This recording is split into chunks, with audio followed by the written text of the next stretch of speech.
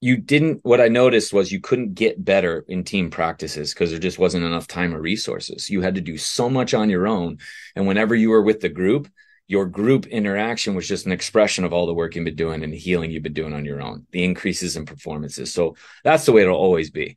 Um, and we train groups. We train groups. I've trained in groups. I i capitalized on them and looking back you they just are an expression of all the individuals coming back to that Ollie Ollerton interview, he's the former member of the SAS.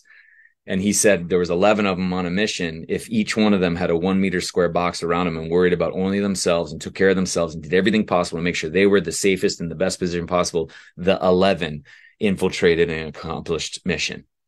So it wasn't that like we're all dependent on everyone in this group and all. No, the individual has to do their job first. And that's the same for society as well. You want to save society, you got to save yourself first. Truth.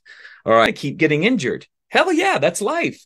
But your body's going to tell you prior to, and it's going to let you know, and you're going to start to like notice, be like, oh my gosh, this is amazing. Just like my hands, they just started burning off months prior it was feeling in my gut that i turned my key at my office i didn't want to be at my office. That was the sign. That was the healing response.